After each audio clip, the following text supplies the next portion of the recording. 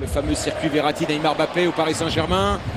Neymar. Oh. Ah, il a du talent, il n'y a pas de doute.